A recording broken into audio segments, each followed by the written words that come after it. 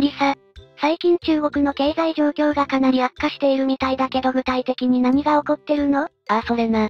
実は中国のシャドーバンク中上企業集団が破産しちゃったんだよ。とうとう経済崩壊が現実味を帯びてきてるんだぜ。え、それって大変じゃない？ああ大変だ。その負債額なんと9兆円だぜ。ピーク時には20兆円もの運用資産を誇っていた大企業だったんだが、不動産バブルの崩壊で一気に状況が悪化したんだよ。そうなのね。でもどうしてそんなに大きな企業が崩れちゃったの？中植企業集団は主に信託会社やウェルスマネジメントプライベートエクイティに関わっているシャドーバンキングの大手だったんだ。北京が本拠地で1995年に設立されたから結構長い歴史があるんだぜ。じゃあなぜこんなにも急に状況が悪化したの？実は創業者が心臓発作で亡くなったのが2021年。その時に新型コロナウイルスのパンデミックも重なって中国経済が大きな打撃を受けたんだ。不運が重なったといえばそれまでだけど、それにしてもこんなにも大きな影響が出るとはね。ああ今回の破産は市場にも大きな影響を与えている。中国株の信用がなくなり始めて投資家たちは不安定な展開に直面しているんだ。経済のことは難しいわね。これから中国の経済はどうなると思う？おそらく信託商品という小売回りの投資商品を売る人が増えて中国経済はさらに厳しくなるだろうぜ。バブルが弾けると売るから下がる下がるから売るの連鎖が加速するからな。何に対しても依存しすぎるのって良くないわよね。中国はどういう対応をしているの？中上企業集団の経営が行き詰まった後中国指導部は処理手続きを急いで進めているんだ。金融リスクを抑えるために力を入れてるけどいつも対応が遅れがちなんだよな。追い込まれてからじゃなくてもっと早くから支援すればいいのに。うんそれが理想だよな。匿名の関係者によると2023年10月時点で金融市場への影響を抑えるためには破産が最も有効だと判断したそうだ。かなり手早く畳もうとした感じね。ああ、2023年10月後半に破産を承認し2024年1月には裁判所がそれを公表した。かなり迅速な対応だったぜ。本当に珍しいわね。普段はダラダラしているのにこういう時だけ素早く動けるなんて、不動産危機が金融システムにどれだけ影響するかってことを指導部も重々承知してるんだろうな。それで中上の債権は誰が担当してるの？主に有力な個人が関与してるけどこの破綻はすでに弱っている消費者や投資家の心理をさらに悪化させる危険があるな。中国の株価は暴落して信用も落ちてるものね。ああ。例えば中越資本の創業者は金融リスクの波及を防ぐために、中国当局が問題を是正する取り組みを加速させてるって言ってるぜ。それにしても今回の件は影響が大きそうね。アーシャドーバンクである中上の破産は不動産バブルの影響がシャドーバンキングセクターにまで波及していることを示しているんだ。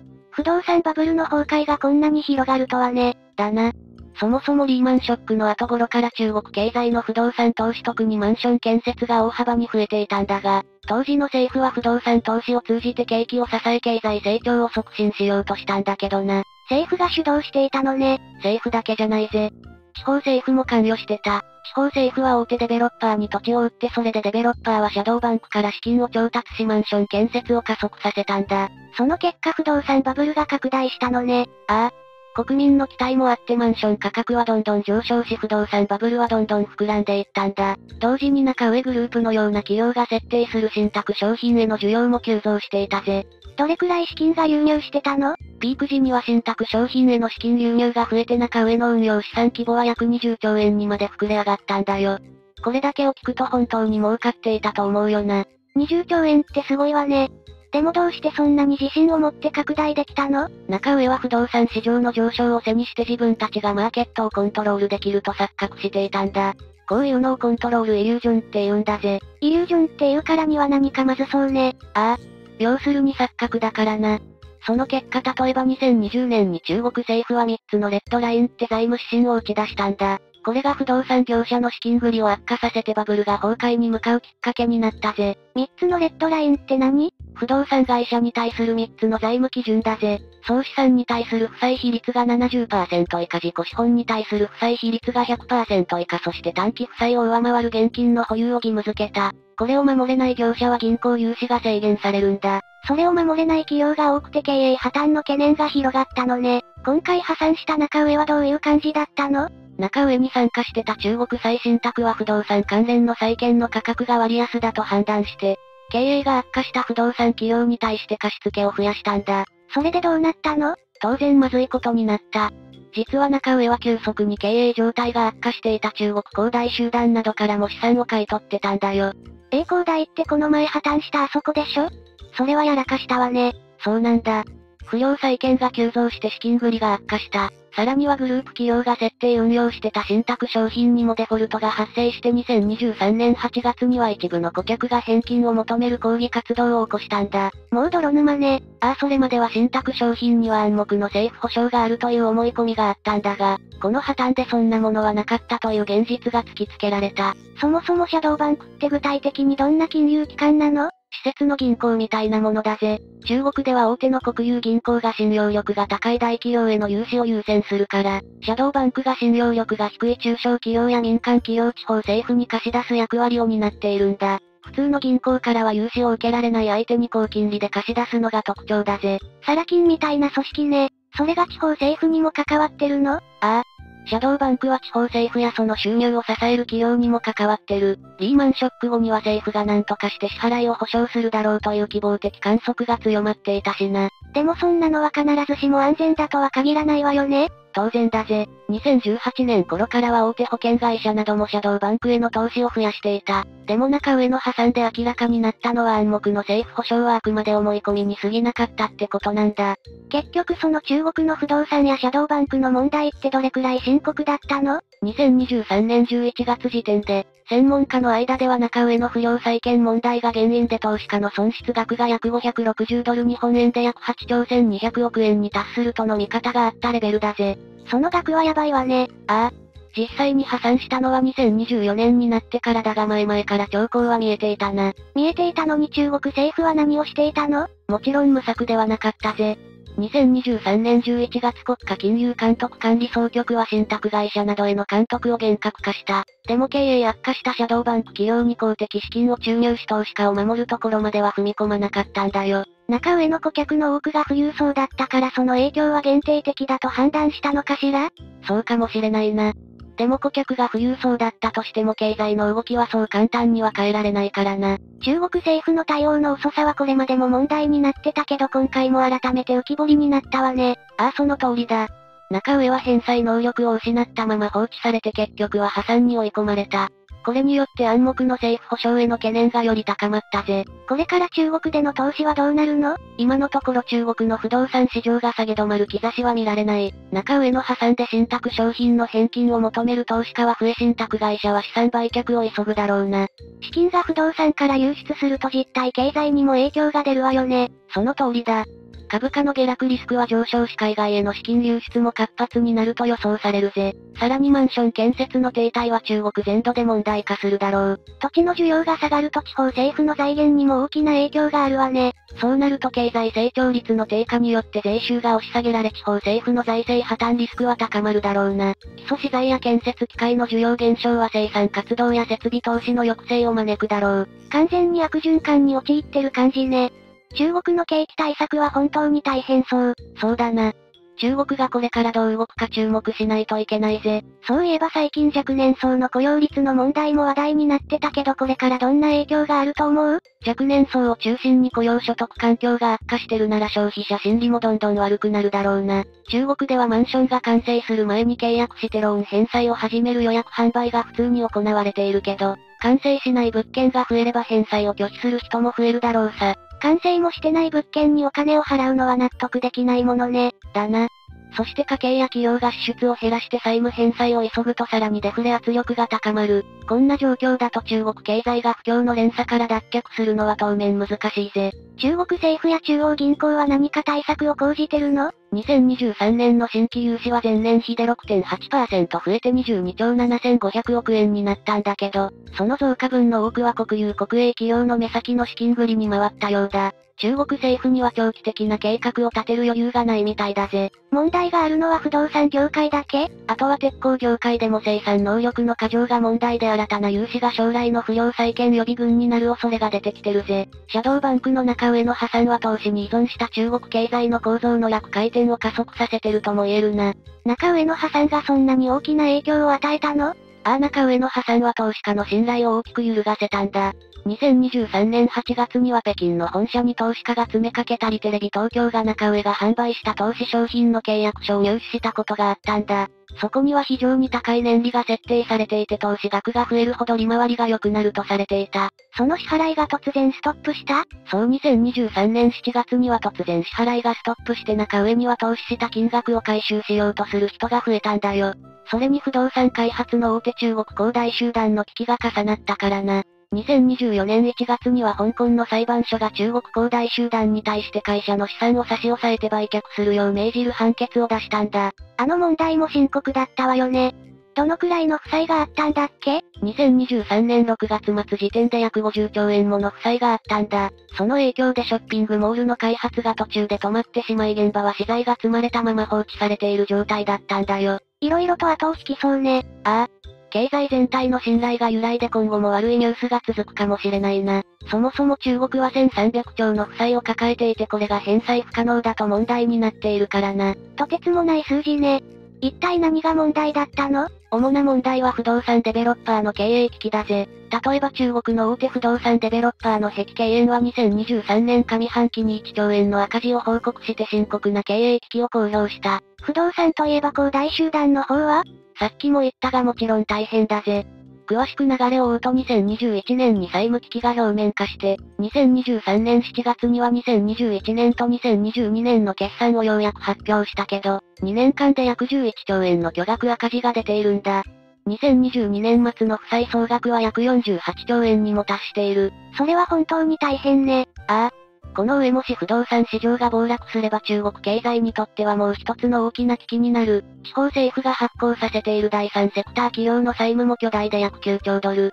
日本円で約1300兆円にもなっているんだ。そんな巨大な債務を抱えているなんて信じられないわ。ああ、今回の経済危機は中国にとってかなりの試練になるだろうな。地方政府の財政状況も深刻で彼らが抱える債務がどれだけ重荷になっているかこれからの展開に注目が集まるぜ。中国の経済がそんなに悪化していたのね。ああ、実は中国経済が失速する中で特に地方政府の債務の巨大なリスクが隠れていたんだ。2023年2月には中国の奇州省政府のシンクタンクがこれを緊急の問題として指摘する報告を発表したんだよ。その報告では何が言われてたの？債務問題が非常に深刻で直ちに対応が必要だとされているけど限られた財政資源では解決が難しいとも言われていたぜ。事実上自分だけでは解決不可能とされているから大きな懸念材料だな。でもなぜそんなに債務が膨らんだのかしら？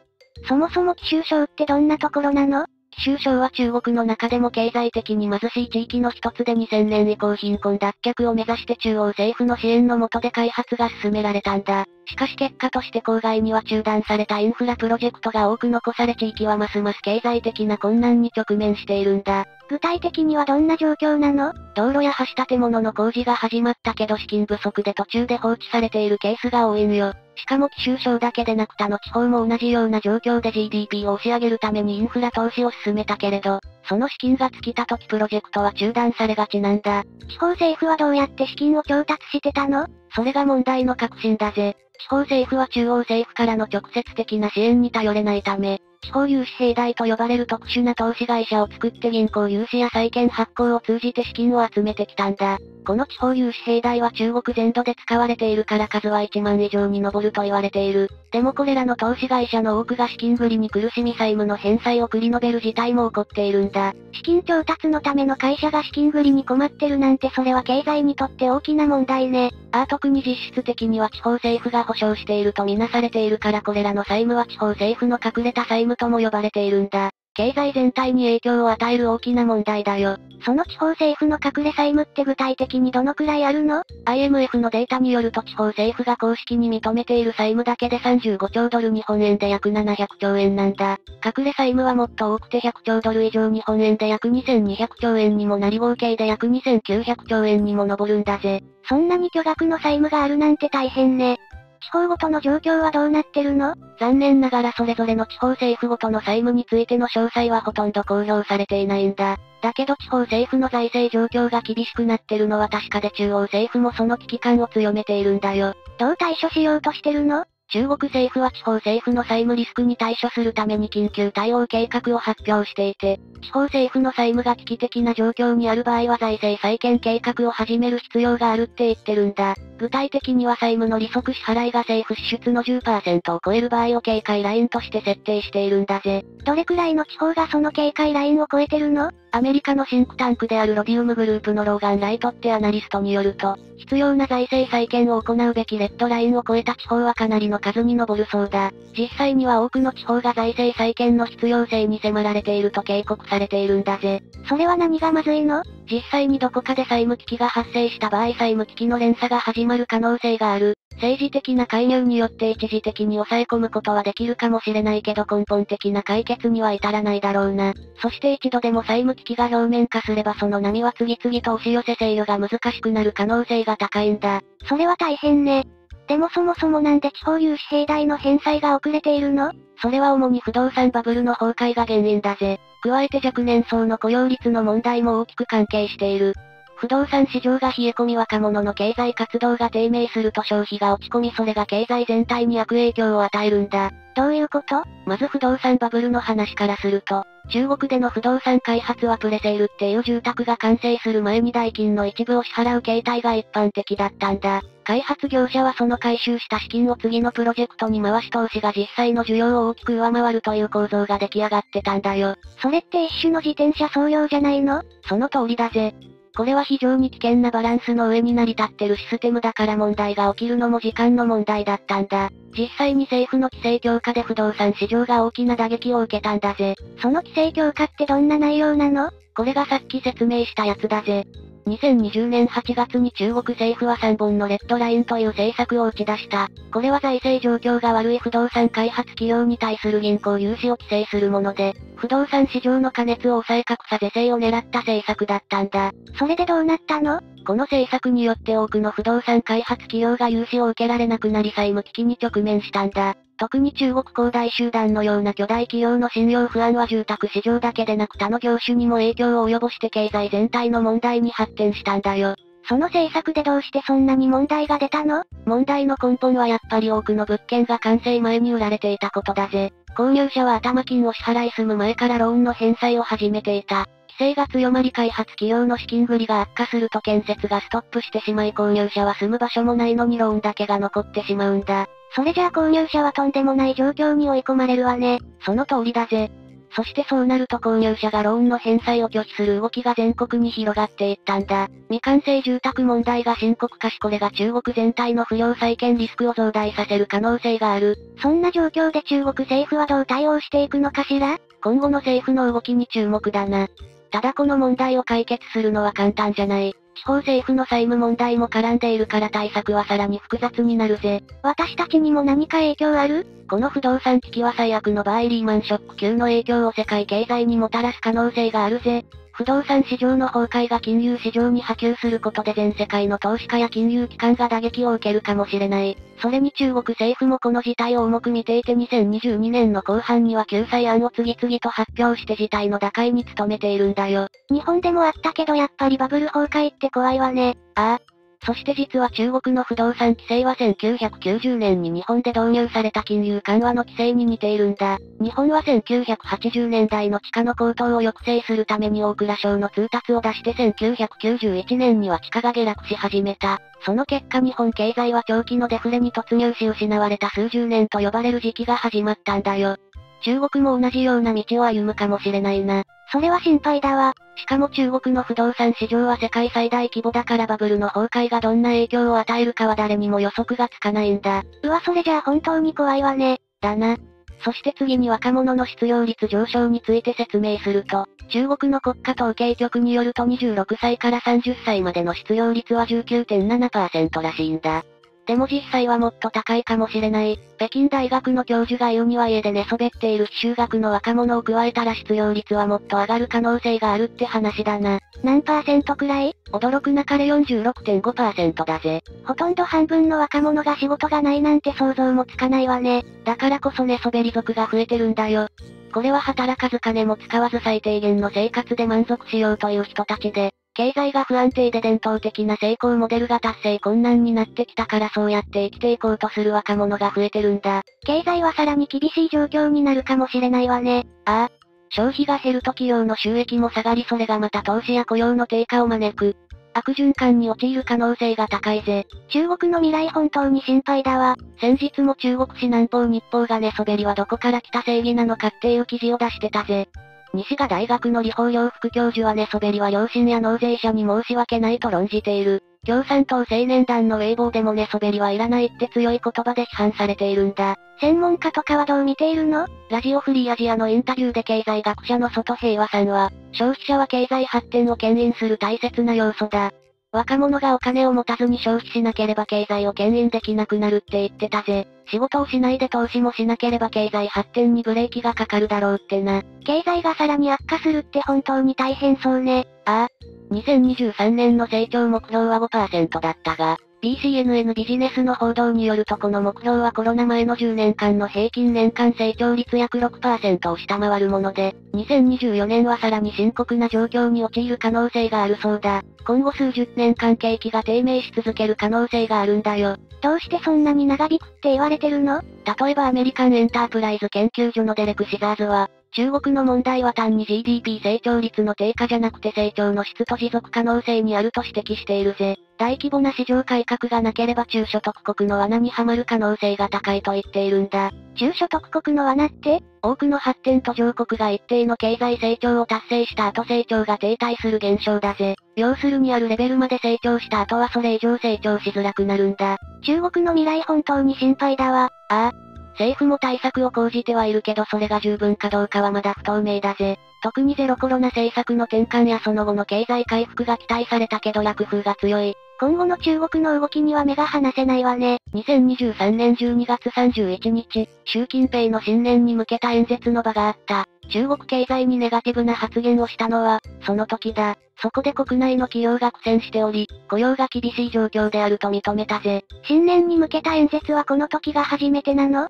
いや、2013年から続いている行事だな。だが、中国経済にネガティブな発言をするのは初めてのことだ。それを認めるのが遅い気がするけど、どんな発言をしたのかしら？ちょっと気になるわね。それは中国の人民日報で習近平の発言が報道されている。一部の企業は苦境に立たされ、経営圧力に直面する企業や、雇用生活の困難に直面している人民がいる。水害、台風、地震等の自然災害が発生している地域もあり、私はこれら全てを気にかけている。以上のように中国が逆風に直面していることを認めていたぜ。これだけでは終わらず、こんな風に続けたぜ。これら全てのことを念頭に置いている。経済回復の勢いを強固にし強めていく。そう明言したんだ。うん、明言しても説得力がないわね。企業や雇用生活が困難な人民など、それっぽいことを言ってるとは思うけど具体的に知りたいわ。じゃあ、まず企業について解説していくぜ。企業と聞くといろんなものを想像すると思うが、ここでは不動産のことを指している。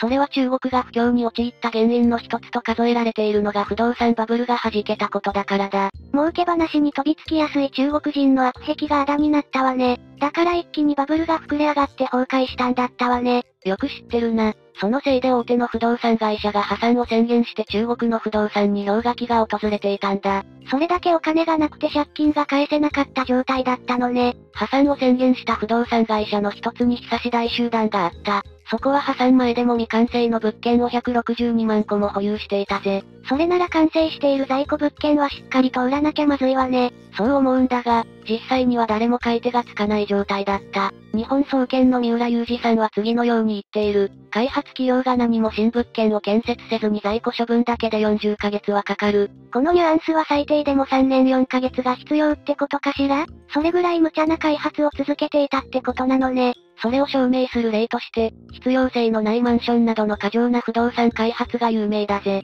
不便な場所に巨大なビルの集合体が存在するなんて本当に意味不明だな。確か十数階建ての高層マンションが50棟も集まる巨大団地が出現したと何かの記事で読んだことがあるわ。それでも住む人はほとんどいないから、夜になると全体の2割程度しか明かりが灯ってなかったのよね。それな、そんな状態だが、敷地の出入り口に顔認証カメラ付きのゲートが設置されたり、コンシェルジュも待機していたりと無駄に高級感ある雰囲気だったんだ。実際は投資用に購入された物件で、入居もなく空室のまま放置している。すごくもったいない気がするが、そんな物件が他にも大量にあるんだから考えただけでゾッとするよな。中古マンションの価格は少しずつ下がってきているが、これは採算度外視で、後から回収できると考えたのが間違いだったと言える。どうして、そんな間違った考え方をしちゃったのかしら？不動産の価値は必ず値上がりすると言われていて、その言葉を鵜呑みにしたからだろう。それが不動産神話と言われたもので、実際にはそれも崩壊してしまったがな。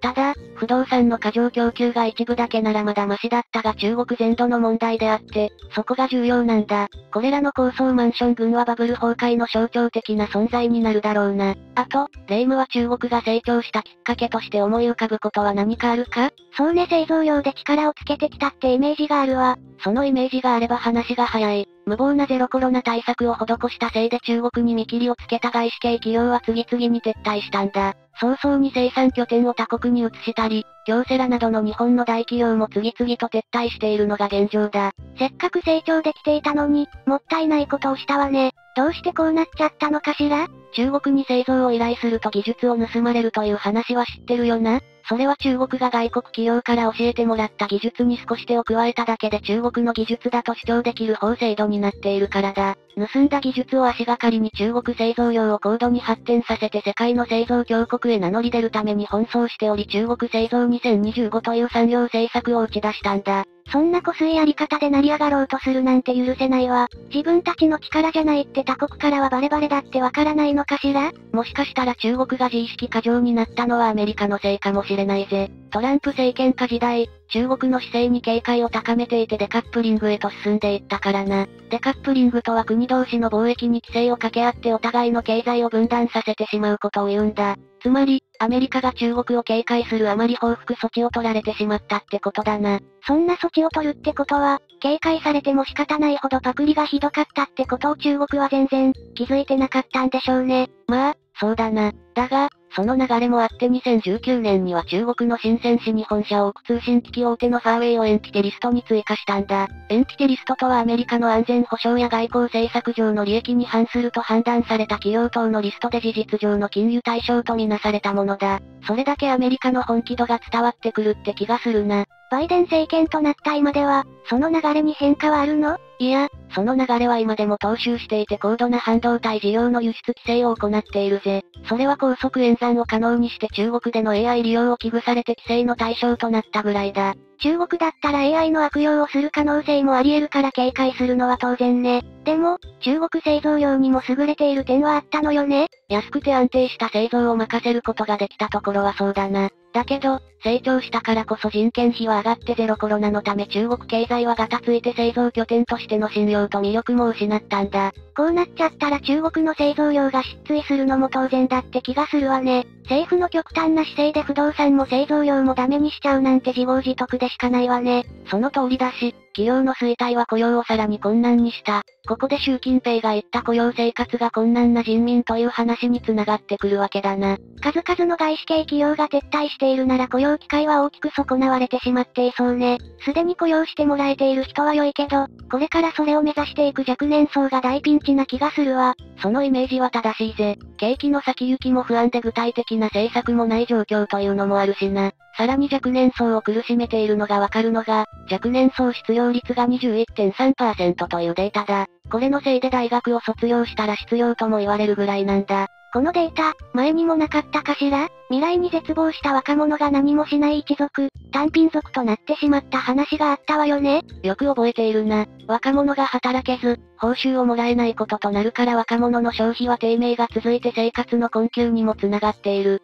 現状ではそうなるのも無理ないだろう。しかも、国民の所得が伸び悩むのは若者のみに限らず、失業率も日に日に悪化しているんだ。こんな状態では国内の消費が増えないのは当然だな。そうなってくると世界トップを誇る人口という利点を活かせるように国外市場に頼らず、国内だけでなんとかできるように頑張るしかないわね。国外市場は外資系企業の撤退や輸出規制、一帯一路の崩壊でガタガタなんだしさ。世界第2位の人口を誇る大国という部分だけに目を向けてはダメなんだよ。そこだけ見たら確かに国内需要だけで経済を回せると思えるが、その実情は惨憺さるものなんだ。それは政府が考考えなしにゼロコロナ対策を世に放ったからその余波がとても大きかったんだぜ。中国政府はゼロコロナ後は景気が回復すると楽観的に観測していたが、それが間違いだったんだ。ゼロコロナのせいで中国の人は先行きが見えなくなり、お金を使うことも難しくなった。つまり中国全土で深刻な買い控えが起きてしまったってわけだ。それもこれも、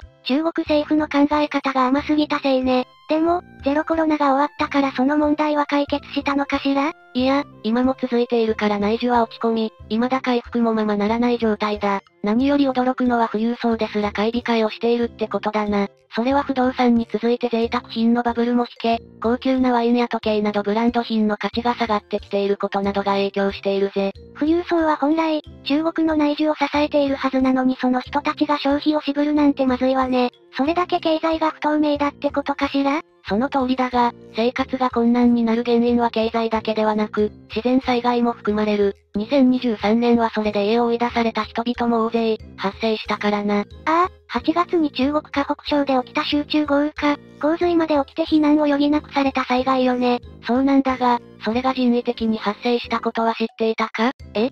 それは知らなかったけど、どういうこと？それは北京という安新区を守るために人工的に引き起こされたものだったんだ。中国の法律ではダムの容量が超過した場合、指定された低地の保水地区へ水を放流することが定められている。北京は中国の首都だから、そこを水害から守るため、多くの人が住む保水地区への放流を開始して下流の住民は家を流されるなどの水害にあったんだ。うわぁ、胸くそ悪くてイライラしてしまうわね。でも、それで家を失った人は怒りの声を上げなかったの？当然、SNS で上げてるぜ。さらに8月11日の時点で河北省は29人が亡くなり、行方不明が16人、被災者は388万人と公式発表されている。だが、ここでも隠蔽体質の中国らしいとでも言うべきか？ネット上で拡散されている動画では遺体が流れている様子も散見され、公式の発表も過小であると疑われているぜ。それに被害を受けた住民は、その場所が犠牲にされるとは知らなかったんだ。人為的な災害であるからなおさら、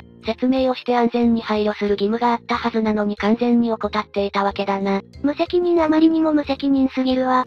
てか、習近平は演説で自然災害が発生している地域があって、自分は気にしているって言っていたわよねそれで、このありさまだと嘘つきって怒りたくなっちゃうわね。まあ、それを言うと何を今更？って私たちが怒られてしまうかもしれないぜ。それもそうねはぁ。それにしても今ですら深刻なのにアメリカの CNN はさらに深刻な状況に陥ると報道している。それは、革新的な改革がなければ中国は中所得の罠にはまるかもしれないとのことだ。中所得の罠とは、発展途上国が一定の水準まで経済成長した後、成長率が低下して成長が鈍化することを指す言葉だ。それって、つまり高所得国と呼ばれる水準には届かなくなるってこと？その通りだな。新しいことを取り入れずに今までの成長戦略を変えられないのが原因の一端だ。製造業に頼り切っていたツケが回ってきている感じだな。景気の下降は数字としても現れているんだが、中国国家統計局は12月の PMI 数値は49.0だったと発表した。11月の49.4から、さらに低下して過去半年間で最低水準に落ち込んだことが判明したぜ。PMI って何だったかしら？これが下がるといけない理由も教えてもらえない？それは製造業購買担当者景気指数のことで、製造業やサービス業の購買担当者を調査対象にした企業の景況感を示す景気指標の一つだ。この数字を見れば国の景気がわかり、50以上で景気拡大、下回ると景気後退と判断される。昨年は中国を支えていた製造業すらも4月からの5ヶ月間は50を割り込むほど低迷を続けていたぜ。中国政府は昨年、支援策を打ち出したり、財政金融政策を強化する方針をとっていたりと経済成長を回復促進させて雇用を作り出すために取り組みを強化していたんだ。9月に50以上となり、効果があったと思いきや、残念ながら苦肉の策で起きた一過性のものとなったな。結局、その後は衰退して前述の通り、12月に49.0となったわけだしな。でも、実際にはもっと数字が低い可能性だってあるのよね。それぐらい景気が悪い中では小手先の政策じゃなく大規模な景気刺激策を展開した方が良いんじゃないかしら？そんな余力があれば良いが、課題が山積みで厳しいだろう。課題をどうにかするための対応は早期にやるべきだったのに、後手後手となってしまったものだから厳しすぎる状況だ。中国の人は誰もこんな状態になることを予測できなかったの？人口が多いんだから一人ぐらいいても良いと思うんだけど実際には早い段階で危機感を抱いていた人はいたんだがその人がまともな意見を言ったのに全く相手にしなかったゆえに招いた事態なんだ。ちなみに、その人ってもしかして、最初に言ってた学者さんのこと？そうだ、経済学者の方で名前は義賢霊氏だな。中国の重要な政府機関の一員だったが、彼こそ中国経済はすでにゾンビ化していると発言した人物だ。経済崩壊していることを隠蔽して無理やり生きながら得させることを、そう表現しているぜ。要するに実際には亡くなったはずの人が生きているかのように見せかけてるってことだ。そこまで言い切れる度胸に感服するわ。この発言の真意は、リスクがあっても解決するためにと考えたため、直接的な表現をしなかったのだろう。だが、義士の発言には次のような驚くべきものもあるぜ。意思決定がトップに集中しており、極端から極端に触れる。このようにストレートに政治批判をしてゼロコロナについても酷評している。無計画、タイミングや姿勢が間違っているなどとな。実際、2020年4月に一度は提言しているのに耳を貸してもらえなかったことがあったそうで、それについても疑問を呈しているんだ。政治批判をすれば逮捕されるリスクがあるのにもかかわらず、それに立ち向かって発言した義士はすごい勇敢だと思ってしまうぜ。ただ、若年層の失業率の高さや本当の数値を隠蔽している可能性を考えると義士のゾンビ化発言は的を得ている気がするんだがレイムはどう思う？前の動画で実際には失業率は21.3%ではなく、60%を超えているって話で衝撃を受けた気がするわ。そう考えると、義士の発言に納得だって思ったわ。その話を覚えていてくれてよかったぜ。若年層の失業率についての数値の変化や原因は過去動画でも説明しているので、そちらを見ていただけたらと思う。ちなみに、農村戸籍保有者が都会へ出稼ぎに行くこともあるが2022年には2.9億人の労働者がいる。失業率には、その人たちの数値を含んでない可能性も否めない。だから失業率60%である可能性もあり得る話となるんだよな。もう何が真実なのか全然、わからないわね。これは中国ですらわかっていない中、私たちに理解しろなんて無理だと思うぜ。失業率の測定方法を改善する必要があるから失業率の統計について公開を停止すると発表している。これが真実か、隠蔽をごまかすための発言なのかはわからないから人それぞれに考え方があるだろう。とにかく、これで過半数の若者が職にありつけていない事実は理解してくれたかな？それはわかったけど、それとゾンビ化は何が関係しているの？経済協力開発機構の定義によるとゾンビ化企業は創業10年以上、営業収入による利払いが3年連続で滞っている企業のことだ。その多くは国有企業で、地方政府や銀行からの支援で会社を維持しているかのように見せかけてるぜ。支払い能力がなく、会社が成り立たないほどの債務があるなら日本だったら間違いなく会社を潰してるわよね。それなのに中国はどうして潰さないのかしら？これは業績不振で倒産するのは政府の面目丸つぶれと考えているからだ。そんなメンツは大切にすべきじゃないと思うがな。そして、ゾンビ企業が増え続ける一方で、そんな企業が新規採用を検討しようとは普通は考えない。さらに2021年以降、新卒者は IT テクノロジーや不動産、もしくは教育産業に就職を希望しているのにもかかわらず、中国政府はその業種を潰してきたんだぜ。大手の不動産会社である久し大集団は従業員3万人が解雇され、事実上、消滅した。既存の従業員ですら解雇されている中では新規採用がないのも納得だよな。本当にそうね納得するしかないわ。ゾンビ化問題はいつ止まるのかしら？止まるどころじゃないぜ。公共事業にすら進行を続けているぐらいだ。関東省には2021年末の時点で507社あった電力販売会社のうち266社が退場させられたからな。ゾンビ企業が増加してしまい、それの強制退場を実施した結果だな。こんなに消したら電力供給が成り立たなくなると思うがもともと、電力販売会社の数が異常なまでに過剰だったため、電力供給が維持できているのは不幸中の幸いだろう。電力供給ができなくなるまでに至らないのは良かったけど他にはさすがにゾンビ化したものはないわよねいや、残念ながら病院までがゾンビ化してるぜ。中国ではインターネット病院が増加し、2021年3月にはそれが1100を超えたんだ。ネット病院は既存の病院がオンライン上に開設する病院と第三者の企業が既存の病院と連携し、オンライン上に開設する病院がある。素人会社を名乗るわけではない点は安心だが、リモートで診察が可能だったり薬は宅配便で配送などの利便性から企業がインターネット病院に大量に参入した。そのせいでゾンビ病院が大量発生したり、9割以上の病院が全く機能していないか、わずかしか利用されていないのが現状なんだ。いろいろな企業でゾンビ化が起こるなら、もう公務員になるしか道はないんじゃない？そう考えたのは中国政府も同じで2020年からは公務員を増やしたが20万人の募集に770万人の応募が来るなど高倍率になってしまったんだ。2020年にはコロナの影響で中国人留学生が帰国したため、さらに倍率が上がったぜ。この倍率の話も過去動画で説明しているから参考にすると良いだろう。しかし、高い倍率の中で公務員になれても給与の未払いが半年に及ぶこともあるなど問題も山積みだ。公務員の給与は景気によって変わるが、今は中国全土で絶賛、不景気中だ。給与がどうなっているか想像するとゾッとするぜ。この問題を解決するには地方政府の財政難をどうにかしないといけないのかしら？そんな日が来ると思うか？終始で黒字だった上海の地方政府でも課長クラスの公務員や警察派出所の所長の給与が約半額になるぐらいだぜ。このことから地方政府が破綻寸前だとわかるが、驚きなのは背負っている負債の額だ。それは何と1300兆円にも上ると言われているぜ。うわ頭の痛すぎる数字が出たわね。こんな状態でも中国政府への信頼が異常なほど揺るがない。あとは実力よりもコネ、権力重視の世の中を変えないとまずいだろう。これがゾンビ企業を生み出す要因だと言えるからな。この状況を打開するために政治体制を変えることが必要だろう。最後にゾンビ化を訴えていた義士の発言を紹介するぜ。勝利を信じるばかりで妥協の精神はなく、退却の仕方もわからず有効な意見を聞くことができない。今までなら間違いなく逮捕や裁判沙汰になってたのにそれを免れているのは、中国政府の権力が弱体化、弱気になっている証拠でもある。ということで、今回はここまで。いかがでしたか？ぜひコメント欄で皆さんの意見や感想も聞かせてくださいね。それではまた次回の動画でお会いしましょう。最後までご視聴いただきありがとうございました。